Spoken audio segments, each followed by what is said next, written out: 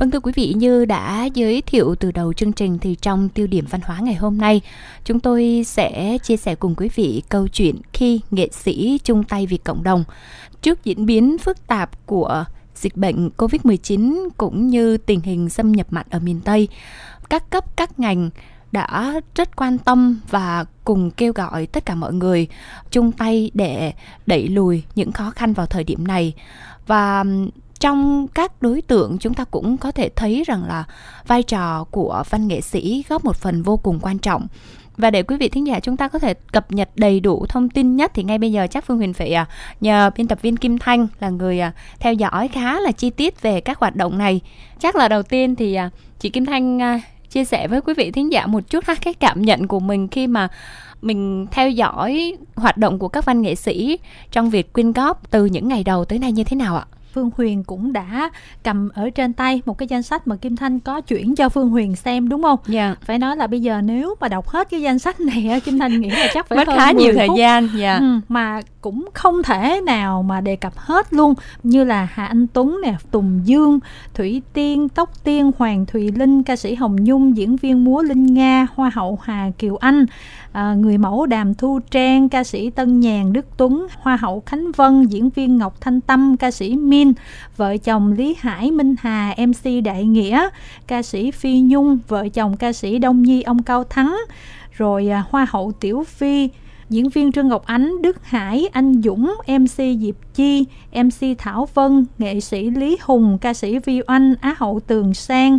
ca sĩ Harry Won, diễn viên Tuấn Trần, Á hậu Trịnh Kim Chi, ca sĩ Đan Trường, Hoa hậu Mai Phương Thúy, rồi ca sĩ Mỹ Lệ Nathan Lee, ca sĩ Nguyễn Trần Trung Quân, nhóm Monster, ca sĩ Amy, ca sĩ Đỗ Hoàng Dương, nghệ sĩ Việt Hương, người mẫu Ngọc Trinh, siêu mẫu Minh Tú, vợ chồng Khánh Thi Phan Hiển, người mẫu Diệp Lâm Anh, người mẫu Hồ Đức Vĩnh, nhà thiết kế Nguyễn Công Trí, Lý Quý Khánh, FC ca sĩ Mỹ Tâm, FC nhà sản xuất KICM cũng như là ca sĩ Jack, rồi siêu mẫu Thanh Hằng, người mẫu Châu Bùi, MC Tùng Leo và rất nhiều gương mặt khác nữa.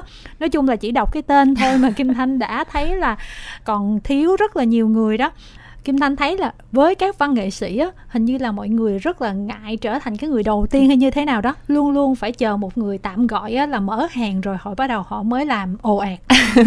Hình như là Hà Anh Tuấn là mở hàng phải không? Nếu mà Hà Anh Tuấn mở hàng thì có vẻ như là cũng khá là tốt đó ha. Trong ngày hôm đó thì Chi Pu với Hà Anh Tuấn cùng à, có thông tin một lượt à. luôn cũng mình mình nói cho vui cái ý đó thôi nhưng ừ. mà mình nghĩ rằng là cái việc mà văn nghệ sĩ ngay lúc đó đã thể hiện được cái vai trò của mình mình biết rõ ràng rằng là văn nghệ sĩ thì có một cái sức ảnh hưởng rất là lớn đối với những người xung quanh nên khi mà thể hiện cái tinh thần đó thì nó sẽ thu hút được nhiều người khác có cái sự quan tâm nhiều hơn với cái danh sách lúc nãy mà Kim Thanh đề cập thôi chỉ có mới một chút xíu thôi mà cũng đã rất là nhiều người. Cho nên là trong cái khuôn khổ của chương trình ngày hôm nay thì Kim Thanh không thể nào mà đủ thời lượng để giới thiệu hết tất cả. Thì à, Kim Thanh sẽ trích ra ý kiến của một số người tạm gọi là đại diện đi để mọi người nghe được những cái cảm xúc của họ.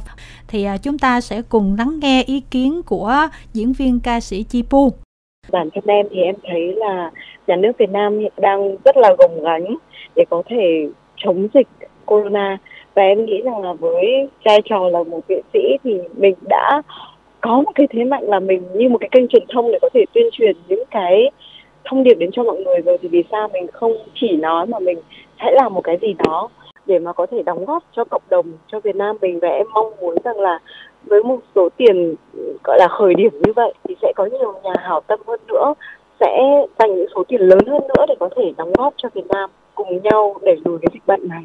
Và bây giờ là chia sẻ của ca sĩ Thủy Tiên. Thực ra ban đầu em nghĩ là một mình em chắc là em không làm nổi đâu. Ví dụ như từ thiện ở một cái điểm nhân nào đó thì có thể là mình đi đến đó để mình phát xong rồi mình về. Nói chung là có cực một chút nhưng mà nó xong rồi là nó thôi. Còn cái này là nó là cả một diện rất là rộng mà chỉ biết là con người mình rất là nhỏ bé. Để đi hết các tỉnh miền tây thì nó rất là khó và chứ chưa nói đến tiền bạc nữa. Cho nên là ban đầu thì em ờ, dự định là kêu gọi đủ cái số tiền để góp được phần nào hay phần đó thôi, chứ em không nghĩ là cái số tiền nó lớn như vậy khi mà đi xuống dưới đó tận mắt chứng kiến những cái cánh đồng khô hạn như vậy rồi dân họ không có nước uống để xài á. Những cái canh nước với mọi người xếp hàng đi lấy nó cũng đều là nước mặn luôn. Người ta không thể dùng để uống được rồi người ta phải khuấy nước để những cái bột phèn chua rồi bột tẩy rồi bột tùm lum vô cái nước để cho nó nó nóng nó đỡ đi cái mặn nó, nó. Người ta lấy nước trong lên người ta dùng nhưng mà nó vẫn còn độ mặn á. Thì tự nhiên cái mình thấy là sức mình đến đâu thì mình sẽ cố đến đó còn dư tiền á thì em sẽ dự định là dùng tiền đó để um, gửi lại cho những cái hộ nông dân nghèo họ mua giống để cho mùa vụ sau. Rồi dân họ mừng mà họ họ mừng lắm luôn á. Nhưng mình thấy à, cái công sức mình đi nó có cái ý nghĩa rất là lớn. Ca sĩ Hồ Ngọc Hà thì ờ, cũng có rất là nhiều tâm tư xung quanh câu chuyện này trước đây khi mà Hà nghe mình có dịch corona là lúc đó là Tết ấy, thì thực ra cũng bận Tết rồi bận gia đình rồi ngay sau đấy thì mình cũng cảm thấy nó lắng lại. Thì mình nghĩ rằng là chúng ta cũng đã có một cái phương án phòng chống rất là tốt. Thế nhưng mà sau đấy nó bùng nổ lại thì thực sự là rất là lo lắng bởi vì mình cảm thấy là cái sự lây lan của nó rất là nhanh. Vì vậy mà Hà cũng đã có tìm hiểu thì khi mà tìm hiểu thì Hà cũng được biết là bây giờ thực ra mà nói mình có tặng khẩu trang hay mình có tặng quần áo gì đi nữa mà nhưng mà không có một cái phương án nào đấy để điều trị cái con virus này thì cũng như không. Thì Hà mới nghĩ là thì bây giờ có cách nào ví dụ như là chúng ta cùng góp tiền vào để tạo ra một cái công việc gì mà cảm thấy thiết thực thì các bác sĩ cũng có nói với Hà là người bị bệnh phải đối mặt với cái chết thì có thể là khi mà nằm vào cái phòng áp lực âm đấy thì sẽ à, hết, có thể tiêu diệt được con virus. Thì à, bọn Hà mới nói ô vậy thì không có gì hay bằng cái chuyện là mình sẽ xây những cái phòng cách ly cực âm đấy cho tất cả những bệnh nhân. Mà khi mà biết được cái số vốn là một phòng nó cũng phải 650 triệu thì cũng khá là căng. Đến lúc đấy thì Hà cũng nghĩ là thôi thì Hà bỏ tiền túi của mình ra, Hà tài trợ hai cái phòng vậy. Trước đi, xong rồi sau đấy thì mình kêu gọi sau. Thì bọn Hà mới quyết định là làm hai cái phòng cách ly cực âm đó. Bởi vì thực ra quan trọng là tiền thôi. Chứ còn để mà set up một cái phòng như vậy thì cũng chỉ mất có vài ngày. Ừ. thì bây giờ bọn Hà đã được Bộ Y tế chụp hình gửi lại thông báo là hai cái phòng cách ly cực âm hiện đang nằm ở Củ Chi.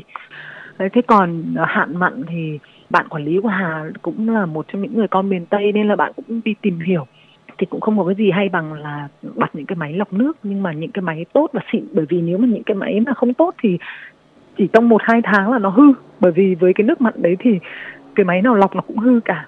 Và hiện nay bọn Hà mua cũng phải gần được 8 đến 9 máy ấy, ừ. là được cho 8 9 nơi như vậy. Và mỗi nơi thì một cái bình lọc nước là với cái khối nước rất là lớn thành ra là cũng rất là tốt cho người dân. Tiếp tục thì chúng ta cũng sẽ nghe uh, phần tâm sự của ca sĩ Nu Phước Thịnh. Thật ra Nu Phước Thịnh cái số tiền và cái thời điểm mà làm cái này thì Nu nghĩ là nó cũng đi sâu rất là nhiều người rồi. Với Nu thì cái hành động lần này nó đến từ cái tấm lòng của mình. Thứ hai nữa đó là cái tấm lòng của gia đình của mình. Vì à, thành viên trong gia đình mình các dì, các mẹ nè, cũng rất là lo lắng và cũng muốn chung tay góp sức cùng với lại các ban ngành lãnh đạo để mà có thể à, đẩy lùi cái nạn dịch covid này. Thật sự nói mà à, khó khăn thì tôi nghĩ là tình hình chung của đất nước, tất cả mọi người đều khó khăn. Nhưng mà mình thì góp được không nhiều như những người nghệ sĩ khác. Nhưng mà mình nghĩ nó cũng là một cái điều gì đó nhỏ bé trong cái lúc này để mà nhà nước có nhiều hơn những cái thiết bị cũng như có nhiều hơn những cái kinh phí để mà giúp đỡ cho toàn dân của chúng ta. Và đây là ý kiến của ca sĩ Nathan Lee. Tới giờ phút này thì ờ, cả Ly và chị Mỹ Lệ quyên góp được trong vài ngày là 800 triệu. Ly và chị Mỹ Lệ uh, đích thân về Bến Tre để uh, khảo sát công trình. Chắc là chỉ trong một vài ngày nữa thôi họ sẽ có được nguồn nước sạch và nước ngọt để sử dụng. Ly nghĩ đây là những chuyện mà rất là bình thường, những chuyện mà phải làm, không đắn đo nhiều. Và lý mong là tất cả chúng ta dù đóng góp được nhiều hay ít hay là đôi khi chỉ là lời động viên thôi thì cũng nên động viên nhau. Cái đấy là cái nguồn năng lượng ờ, tích cực mà tất cả chúng ta cần. Có thể nói là sự đóng góp của những nghệ sĩ mà ờ, chúng ta vừa nghe sự chia sẻ đó thật sự rất rất là đáng quý. Nhưng mà phương huyền nghĩ rằng là không nhất thiết là mọi người ờ, phải là những người có điều kiện hay là có khả năng kêu gọi một cái số tiền lớn một cái khoản hỗ trợ lớn mà trong cái hoàn cảnh này thì bất kỳ ai cũng có thể cùng chung tay với các cấp lãnh đạo với chính phủ như tư cách là một công dân Việt Nam. Chị Kim Thanh có nghĩ vậy không ạ? Đó cũng là ý kiến mà Kim Thanh đã ghi nhận được khi trò chuyện với một số người như là đạo diễn Nguyễn Quang Dũng thì anh có chia sẻ như thế này. Lúc nào mà mình cảm thấy mình có cái điều kiện của mình và mình cần góp gì cho cộng đồng với một công dân thì à, theo cái khả năng của mình thì à, mình làm thôi. Những bác sĩ và các tình nguyện viên cũng rất là vất vả. Thì mình cảm nhận được cái sự khó khăn cho nên là mình à, chia sẻ thôi. Mình nghĩ những cái khó khăn mà chung á, cộng đồng á, nó cần những cái sự hợp tác của tất cả mọi người nhìn về một hướng. Và với đạo diễn Phan Gia Nhật Linh thì cũng có ý kiến tương tự thật ra là nghệ sĩ hay là công dân gì thì mình cũng phải có trách nhiệm công dân hết. Mình cũng rất là muốn uh, mọi người sẽ đóng góp cùng với nhau vì bây giờ mình cũng đang gọi là đi theo tiếng gọi của đất nước cùng với nhau để mà vượt qua cái khó khăn này trong cái quá trình mà Kim Thanh tác nghiệp phỏng vấn cho bài viết này á, thì Kim Thanh cũng tiếp cận rất là nhiều nghệ sĩ. Thì nhiều người cũng nói là thật ra trong cái thời điểm mà show chậu không có như thế này thì tụi em cũng gặp rất là nhiều khó khăn.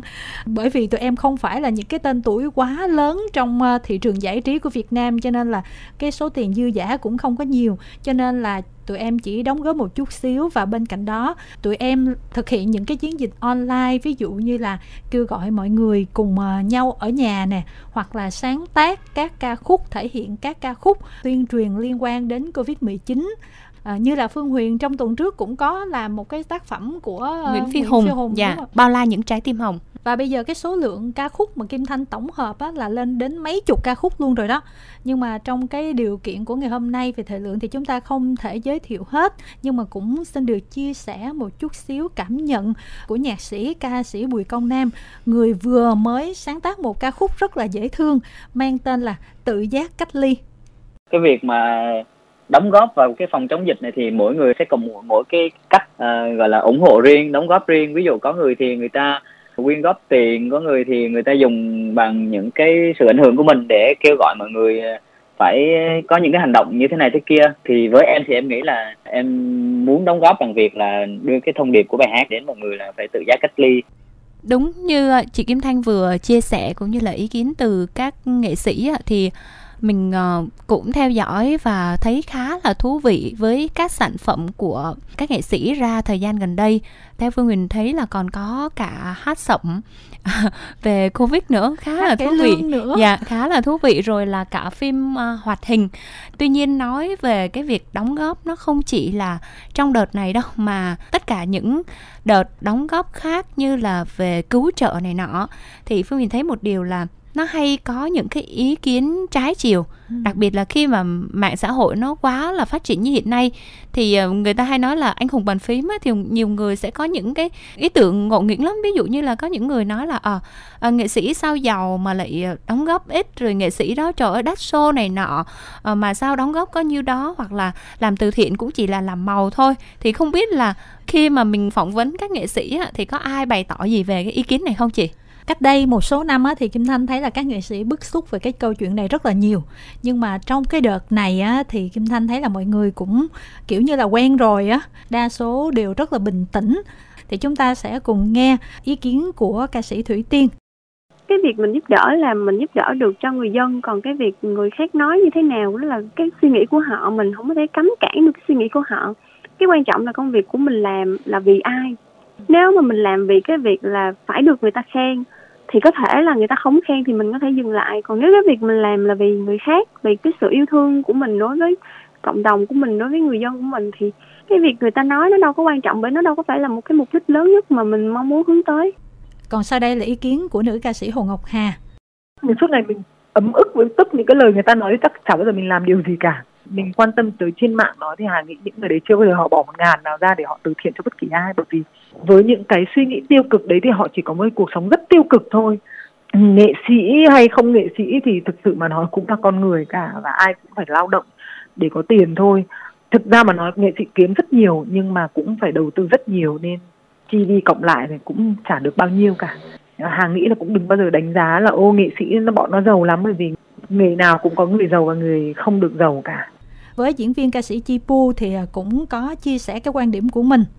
Mỗi người sẽ có những cái cách đóng góp khác nhau. Có người thì sẽ đóng góp bằng vật chất nhưng mà cũng sẽ có người đóng góp bằng cách rằng là tuyên truyền những thông tin xác thực để đối tượng khán giả của họ có thể bảo vệ sức khỏe của mình một cách tốt nhất. Có ít thì mình góp ít có nhiều thì mình góp nhiều. Và ai cũng có những cái cách khác nhau để mà mình quyên góp cho đồng bào cũng như là đất nước.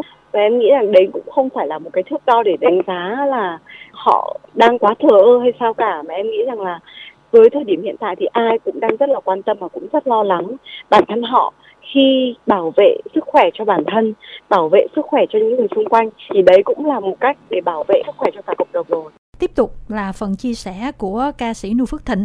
Nếu mình nói như vậy thì những anh chị em nghệ sĩ khác họ vẫn âm thầm đóng góp. Thì chúng ta không thể nào phủ nhận đi cái tấm lòng của họ được. Không quan trọng là con số là bao nhiêu. Quan trọng là bạn muốn góp cái tấm lòng của mình chung tay để mà đẩy lùi cái nạn dịch này. Vì đẩy lùi cái nạn dịch này thì tất cả mọi thứ mới trở lại bình thường được. Và với đạo diễn Nguyễn Quang Dũng thì anh cũng có những ý kiến tương tự. Mình không phải người ta cho nên là mình không biết được người ta như thế nào? Thật ra mỗi người đều có một cái khó khăn. Thí dụ như cái thời điểm này á mình nghĩ như như những người như mình à, vô sản thôi vậy chứ mà có khi ngại ngại không mất gì nhiều.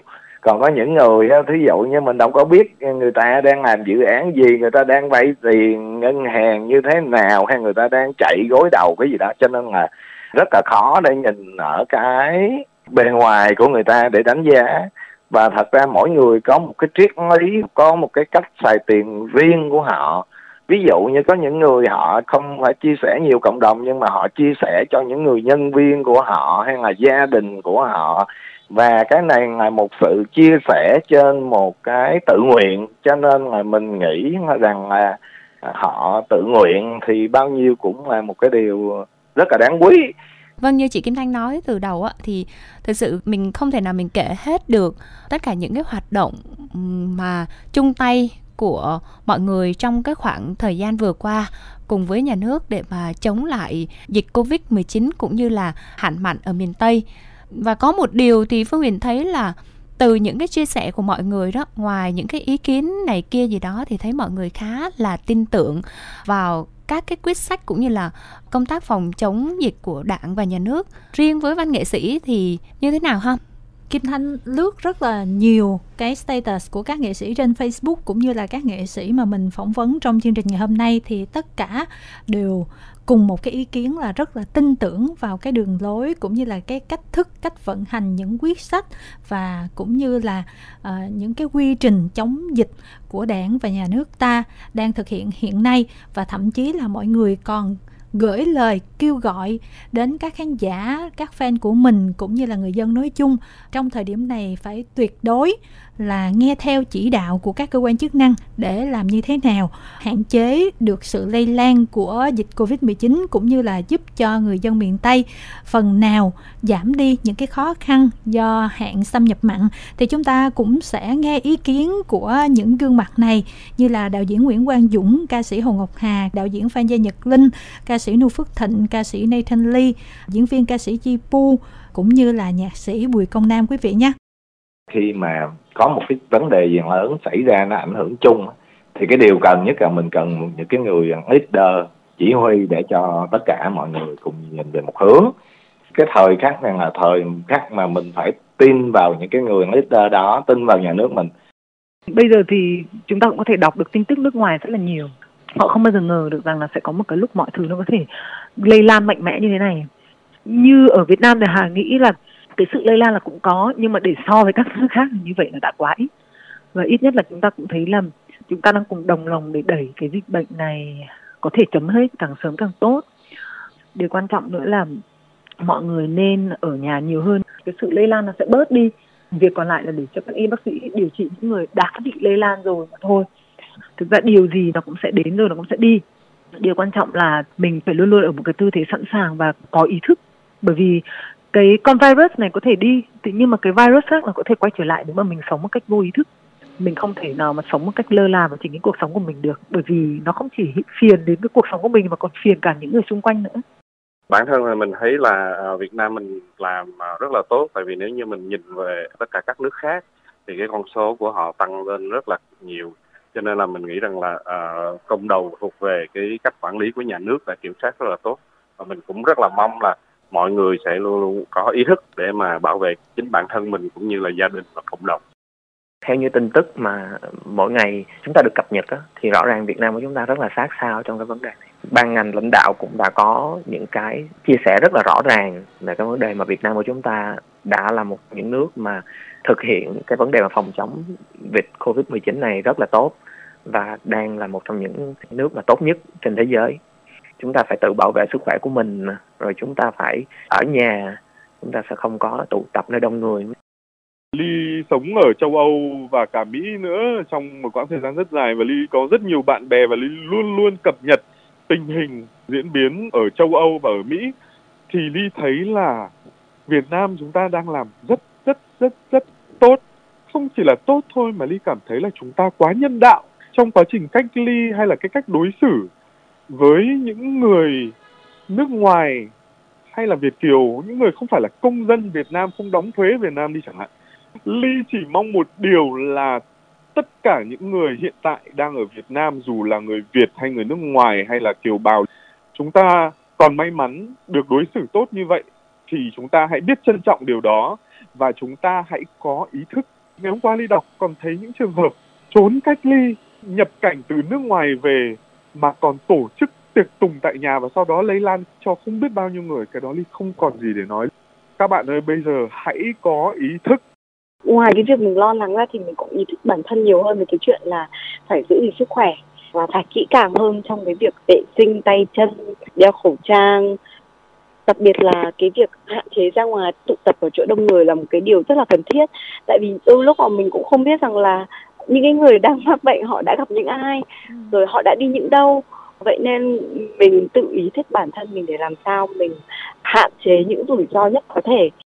Cũng hy vọng là nếu như mà không may cái số lây nhiễm nó bị cao thì người dân cũng như ờ, nhà nước vẫn giữ được cái phong độ những cái cách quản lý như thế này Vâng thưa quý vị, khi chính phủ và nhà nước ta có những cái động thái kêu gọi người dân cùng chung tay đẩy lùi dịch Covid-19 cũng như là các hoàn cảnh khó khăn do việc xâm nhập mặn ở miền Tây thì các nghệ sĩ cũng đã không ngần ngại đóng góp và lên tiếng vận động cùng với các fan của mình. Với nghệ sĩ chắc chắn họ là những người luôn biết là mình có sức ảnh hưởng nhất định với cộng đồng cho nên họ sẽ càng thấy trách nhiệm về xã hội của bản thân mình nhiều hơn